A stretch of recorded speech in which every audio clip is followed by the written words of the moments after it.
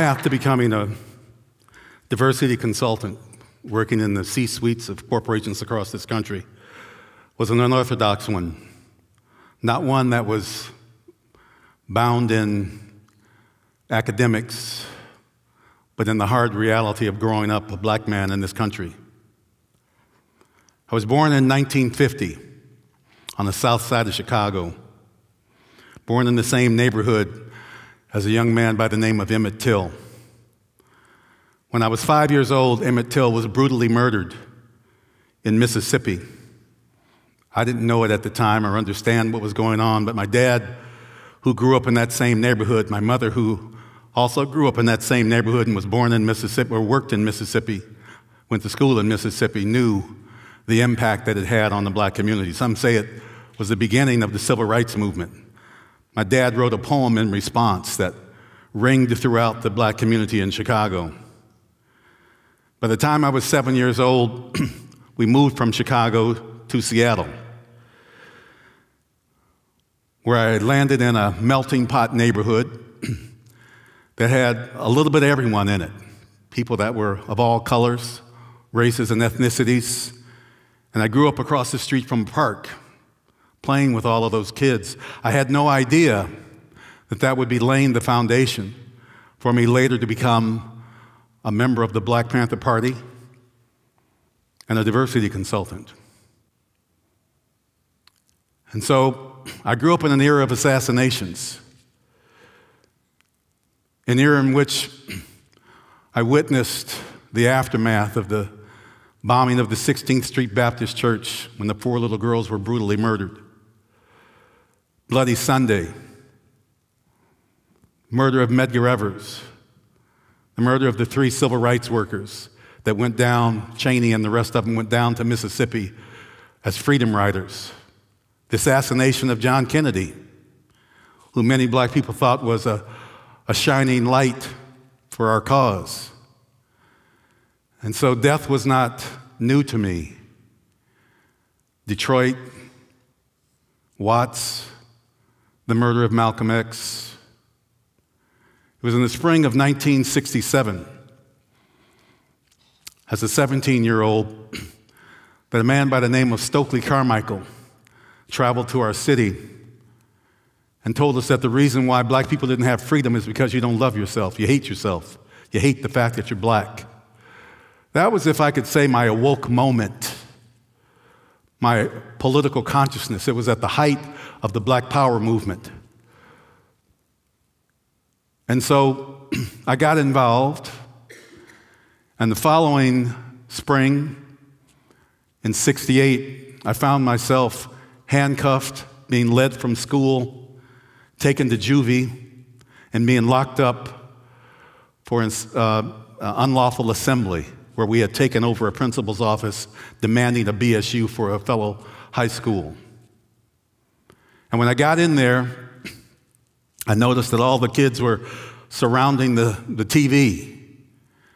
And I went over to see what the commotion was, and MLK had just been assassinated. I later found out that I was not the only one arrested that day. My brother, a couple of leaders from the UW, he was already at the University of Washington organizing a BSU there. A couple of my colleagues from high school were also in that juvie with me. And it's like they had gotten us off the street to prevent us from organizing, doing a rallying call for the death of the Prince of Peace. You see, I had marched with King when I was 11, 12 years old. And I recalled when King said, Turn the other cheek when someone slaps one cheek. But growing up in that neighborhood, growing up across the street from that park, if I had ever turned the other cheek, I would have been bullied for the rest of my high school or the rest of my grade school days. And along came Malcolm X, who said, If someone slaps you, you better slap him back. That's not violence, that's called self defense. It's called defending your dignity, defending your honor. And so I picked up that, that call and became, that became part of who I was. A week after getting out of juvie, we traveled to Oakland, California. It was the spring of 1968. I don't know if you've ever been to the Bay Area, but the Bay Area in those years was the hotbed of revolution, of liberation. And we were attending the West Coast Conference of Black Student Unions. And that night, unbeknownst to us, the keynote speaker was none other than Chairman Bobby Seale of the Black Panther Party.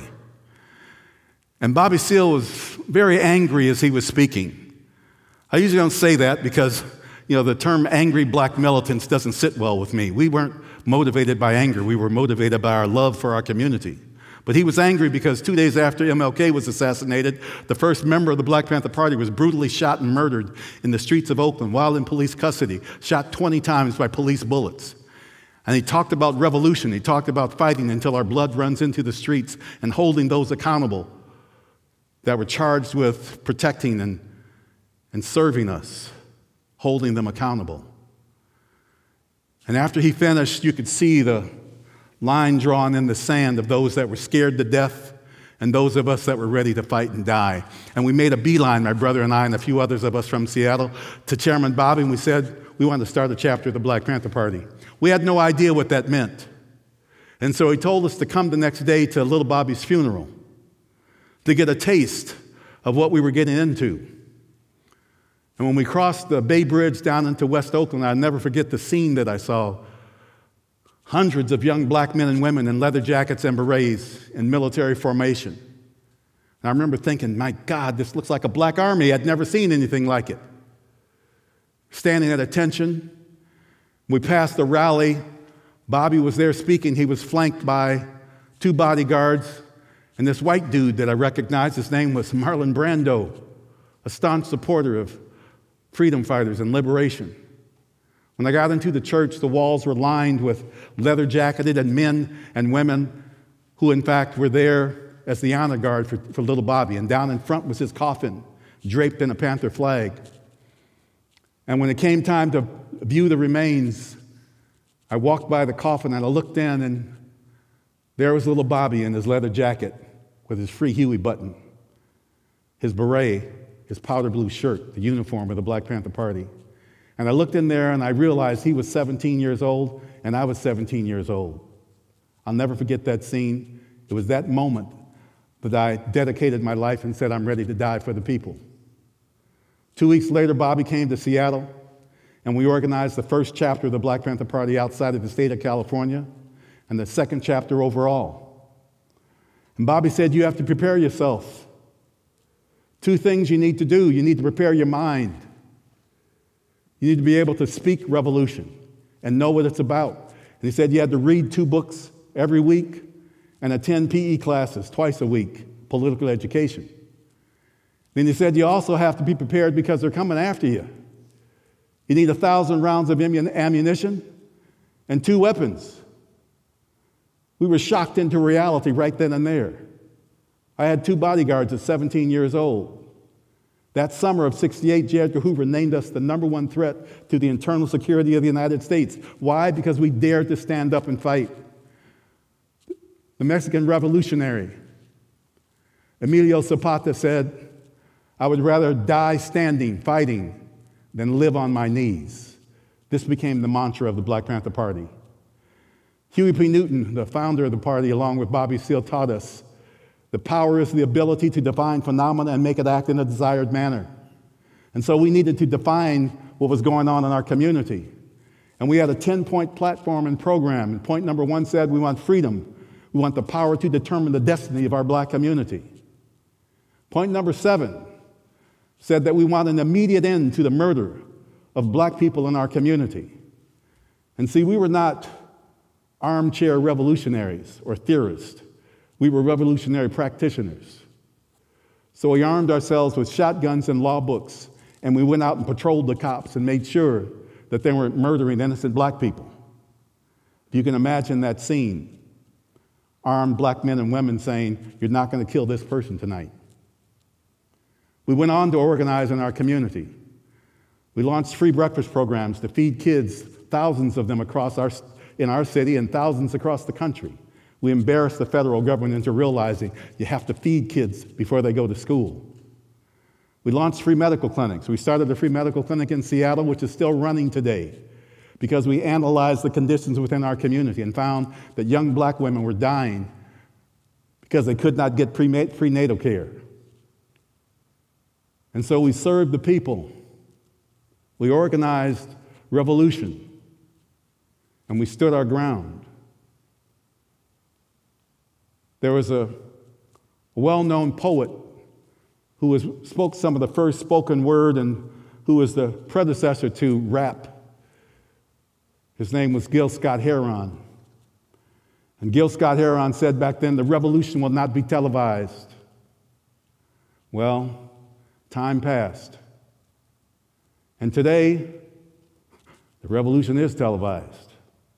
See, we didn't have cell phones. We couldn't capture what was going on with the, with the cops trying to kill someone. We had to stop them in their tracks. But today, young people have rallied with their cell phones. They said, We don't need to pick up arms, we can pick up a cell phone.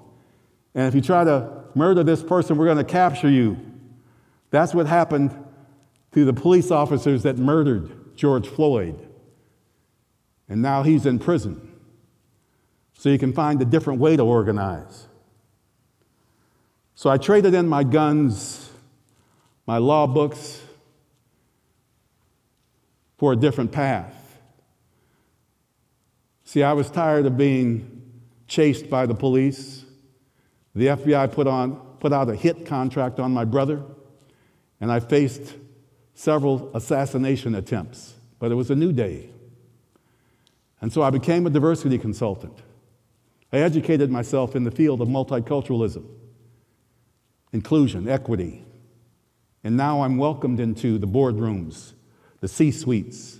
And I talk to leaders about taking a stand and creating an organization that is more inclusive and equitable, one that embraces all people. See, that's one of the things that we did in the Black Panther Party. We started the initial Rainbow Coalition. We were not separatist nor racist.